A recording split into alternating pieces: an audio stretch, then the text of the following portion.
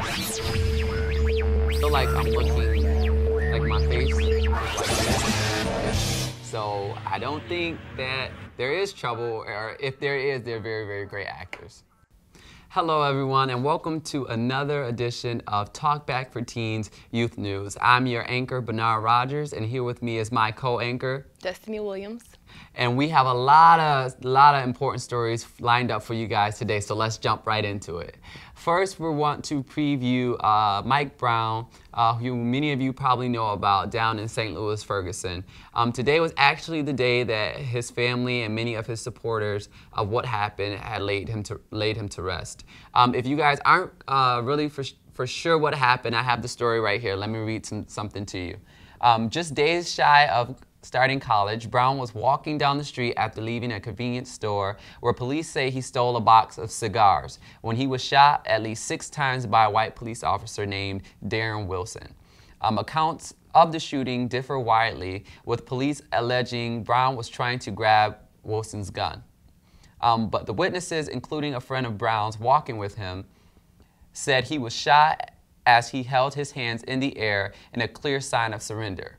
Um, as many of you guys know, throughout social media, the hands up uh, symbol and uh, many pictures like that have been going around in support of what happened with uh, the Michael Brown situation. Um, as his family lay him to rest, many um, remembered him as the gentle giant and say that he uh, gave his life to uh, God and found religious um, backings as he was um, on his deathbed. Um, um, some of the more important people who attended his funeral today were uh, Trayvon Martin's father, who many of you guys know. Trayvon Martin was the young man uh, in Florida who was shot uh, by a, um, I believe he was a Latino gentleman, or, or or uh, with European descent or something like that in 2012. And also, um, another story has been circulating with a young man named Eric Garner who died in New York uh, Staten Island on July 17th after he was um, after he was put in a chokehold by a cop who thought he was selling illegal drugs. Um, so many of these stories have been circulating, and uh, there's been a lot of talk about it going on so far. So I'm gonna turn it over to Destiney. Destiney, what do you think about all of these incidents that are happening and this racial, racial, presumed racial prejudice that is going on? I think it's all just a really sad situation. Like every different situation that comes up, there's no for sure evidence. There's no set story. Everyone has their own opinion about what happened, and this one says that, and the other one says another thing, and no one knows really what happened. But it's all just sad because innocent lives are being taken. Right. There's not a need for anyone to die because they allegedly stole cigars. Like that's not necessary. Exactly, and like you said, I'm for sure, I'm not for sure what happened either. Nobody really knows, um, but I know uh, in the news they've been talking about uh, one of the things they're really really pulling for are cameras in the police's badges or on their squad cars, so that uh, when incidents like this happen, they can have some proof or have some insight as to what actually happened. So we're wishing in uh, Mike Brown and his family um, our deepest uh, apologies and hope they figure out uh, what actually happened.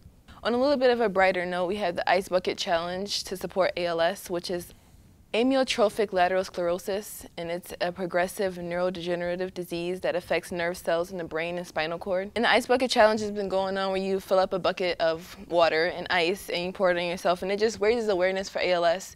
And it's raised about $80 million so far, so visit the website www.alsa.org to learn more about ALS and to donate. All right, guys, uh, that challenge is definitely something that's been circulating in media a lot, and hopefully you guys are a part of it and you're donating as well. Our last story, we definitely, definitely want to talk about the highly anticipated uh, VMAs that MTV kicked off this past Sunday. You had so many stars who showed up. Uh, you had appearances by people like Katy Perry, Usher, Rita Ora, and you had performances, uh, collaborations with Nicki Minaj, uh, Ariana Grande, Jessie J. Uh, you had Sam Smith. Uh, and you also had the highly acclaimed Beyonce, who also won the Michael Jackson um, Award of Excellence, uh, which was really, really great. Um, I actually tuned in for the show. Uh, it was an awesome, phenomenal show, um, and like I said, had many, many great uh, performances. Uh, so Destiney, uh, the talk of the night, as I said, was on Beyonce, and I know girls love Beyonce. I mean, I personally love Beyonce. I want to marry her, but the talk was on Beyonce. So what do you think about Beyonce? Beyonce is definitely someone to watch. She's a big idol in girls' eyes. She just, I don't know, she sings, she dances, she's a great performer. Mm. She's a mother, she's a wife. She's just a, you know, all around good person for a young girl to watch. Yeah. And and what do you think about the Michael Jackson Achievement Award? That's That's a big award to win that says a lot about your career and how far she's come. She started at a very young age and she's come so far. She's like in her 30s now and she's at Michael Jackson status. Like that's great. Yeah, yeah. So I'm glad she was able to get celebrated for the work that she's done. Uh, but on another note, uh, Nicki Minaj, uh, she didn't have that much of luck. Uh, after one, her her beginning performance, uh, she went to a wardrobe change and she came back in a black dress and people realized that she was holding it um, very very awkwardly as she was performing and many people say that it was because it was a, a wardrobe malfunction and she actually went on uh, the VMA press room to say um, we ran out of time getting uh, the dress on by trying to to actually zip it up. So while she was trying to zip up her dress, she actually ran out of time to put the front part together. Um, so that's why she had to hold it. Uh, we wish her luck in the future with her wardrobe changes, and hopefully they can give her a little bit more time. Do better in rehearsal. right. Trouble in Paradise with uh, Beyonce and Jay Z. I hope not. I really hope not. I love them. They're so cute. Like it's them two and Blue Ivy, and they're just the cutest little family. I really hope not. I mean, I'm the same way. I agree. I hope not. But uh, there's been some stuff circulating that she's been asking for advice in, in what it takes as a celebrity of her capacity to get a divorce. Um, but from the VMA performance last night when she received yeah. her award, her family came on stage and they had a nice candid kiss. So I don't think that there is trouble, or if there is, they're very, very great actors. Okay. Nicki Minaj's new hair, you like it? I love Nicki Minaj's new look. She looks like a normal person now. like she's someone that we could probably relate to a little bit better than Roman. so, yeah. ALS challenge. Have you been challenged? I have. And yeah. No, my dad wants to do it as a family, so we're probably gonna do it sometime too. Yeah. I've been challenged as well, finally. I have not done it yet, but my roommates and some of my other friends have assured me that we will be doing it. So look out for that, uh, Talkback for Teens viewers. Once again, guys, this is Talk Back for Teens Youth News, and we're glad that you guys could check in with us one more time. Make sure you follow the conversation on Facebook, Twitter, and Instagram at Talk Back for Teens. Again, that's Talk Back for Teens. See you later, guys.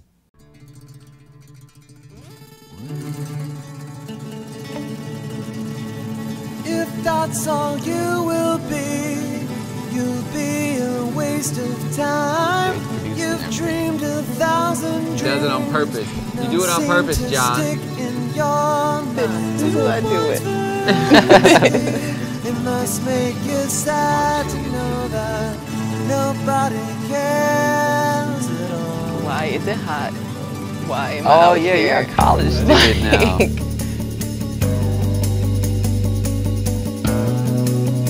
Roman. so, yeah. so dark. How was that, John?